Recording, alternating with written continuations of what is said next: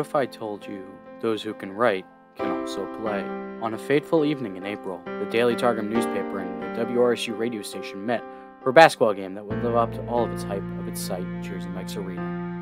For DP, 66-59, Targum lead with 30 seconds to go. Basaya across the timeline.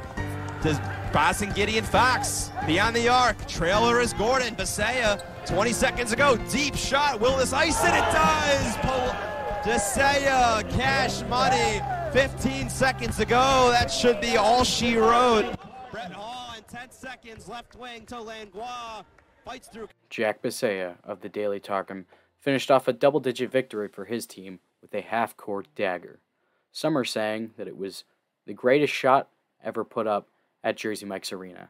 Well, not everyone. But let's take it all the way back to the beginning. To start off the day, WRSU GM Alex Carminati got it all started with a bang with a raucous introduction from the crowd and PA announcer. Next up, a six-foot junior from Massapequa, New York. The man is one class Alex Carminati.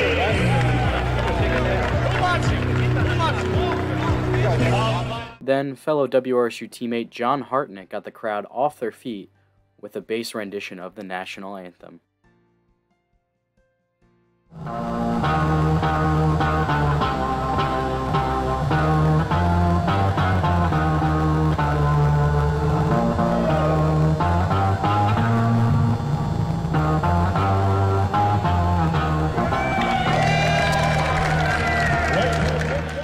With the game underway, the Daily Targum's Eddie Kalegi had an electric first quarter to help give his team an early lead.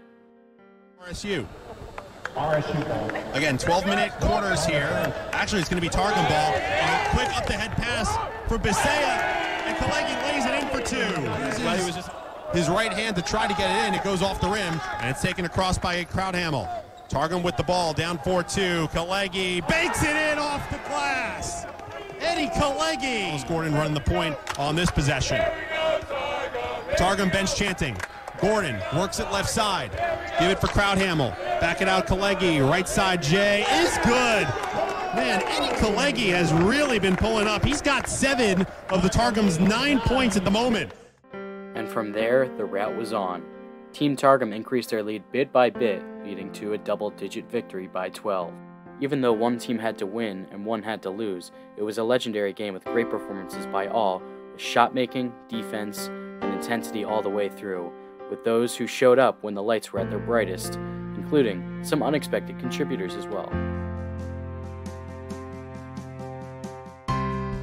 There was even an injury scare, with WRSU's Max Sanchez cramping up late in the third quarter after attempting a block.